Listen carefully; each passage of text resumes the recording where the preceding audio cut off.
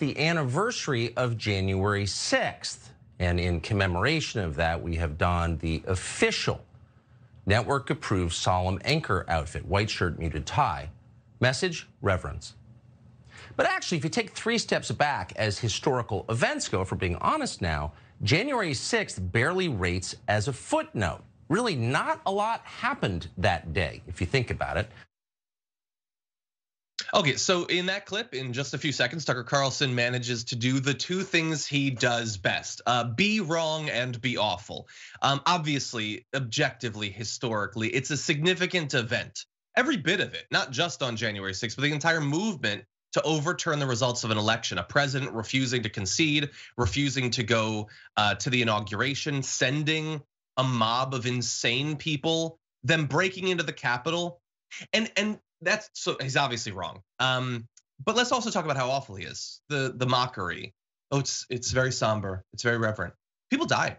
Even if he only wanted to talk about Ashley Babbitt, to mock the idea that this is a somber occasion is objectively awful. But that's of course by design, Brett.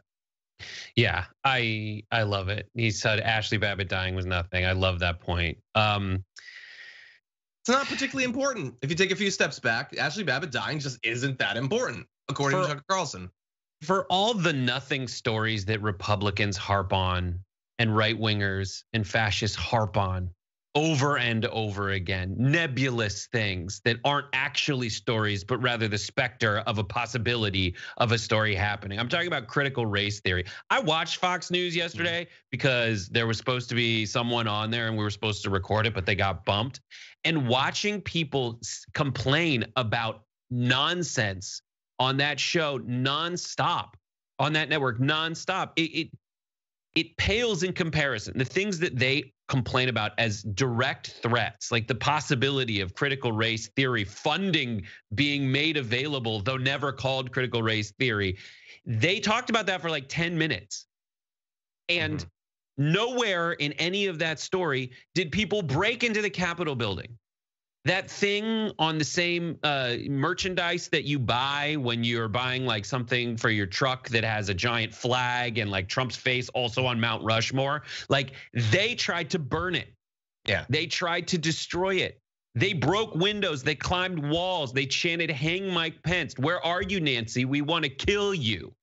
Yeah. That's what they did. They tried to stop democracy from happening. They tried to thwart the peaceful transfer of power. And we're looking at a video right now yeah. where a, a, a police officer, you know, led them the other way. Yeah. Otherwise, they would have been right where the people in uh, actually overseeing the transfer of power and making sure that what the founders, what America's all about, could continue to happen, happen. But no, it's nothing third day on the job, uh, the Capitol gets breached, and then they blame me and President Trump and many other Republican members of Congress for doing it. I was so shocked, and I'll tell you what was so shocking is I thought what you just said. I thought the Capitol was the most secure building right. in our country, at least. Right, with thousands of cameras. Uh, well, there are lots of cameras, but, but who, you can't see the video see footage. Them. I don't know why you. Oh, that, that's that's interesting. So Marjorie Greene hasn't had an issue with January 6th since it happened. She hasn't seemed to be bothered by the violence, about the attempted murder of cops and all that, about the attempt to overthrow democracy, to kill Nancy Pelosi, to hang Mike Pence. And I didn't realize the whole time it's she doesn't think that there's footage from it. Which but the, but there is Marjorie Greene. Like she just missed it. Maybe there's a chance to win her over to her cause. Let's play a little representative sample of the video that is actually abundantly available. Não.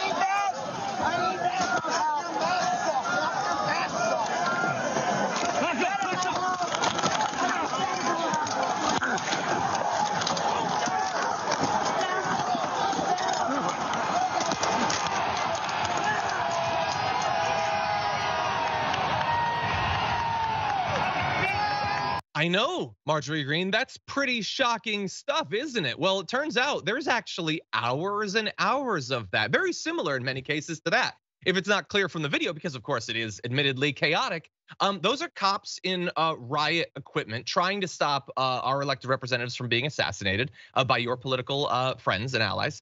And uh, those are conservatives trying to kill them with hockey sticks and flagpoles and stuff like that. That's actually been available since the sixth in many cases, Marjorie Greene. So I would consider looking into it. I mean, we're already having the hearings. I feel like you should probably be prepped for them. In the video, the it clearly shows an individual taking photos of a security checkpoint in the uh, basement that no, actually, the Capitol. what they were taking a picture of is I took the family, and of course the other folks were with them, have two young kids that wanted to see the little trains that that take congressmen. So I took them to show them where the, the, the trolley was in the uh, the Rayburn Tunnel. But why do you think pictures were being taken of a stairwell around security? If you go to that stairwell, there's a golden eagle sconce that's on the wall. That's what he was taking a picture of. So that is Representative uh, Barry Loudermilk responding to concerns about the fact that he spent uh, the better part, more than a year uh, denying having taken anyone on any tours of the Capitol grounds, in the uh, in advance of the January 6th insurrection. We found out that in fact he did. That some of those on the tours took photos that at least seemed a little bit suspicious, taking photos of stairwells and things like that. And that one of the individuals who went on the tour did not necessarily, we don't know yet, breach the Capitol, but was filmed on January 6th in DC making threatening comments, which we'll get to. Now he has a response. He says, no, they weren't taking suspicious photos of a stairwell. They were taking photos of the little trains or maybe it was a golden eagle statue or maybe as he is being reported in newsweek it was pictures of children's artwork that they were taking photos. They weren't taking photos of the tunnels or anything like that.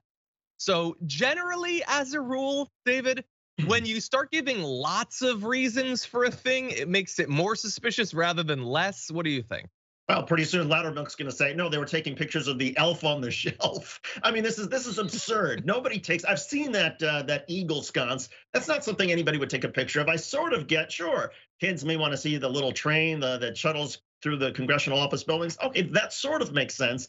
But there's still no reasonable explanation for why people would be taking pictures of the stairwells in that area um, other than they wanted to know for their own, I don't know, related to January 6th, what the what what the layout was and where the stairwells were and helping their friends. That's the logical explanation. And and Loudermilk, um, I I hope this guy has to go under oath and make these same mm-hmm. claims uh, because then he'll be looking at a perjury and contempt of Congress and everything else.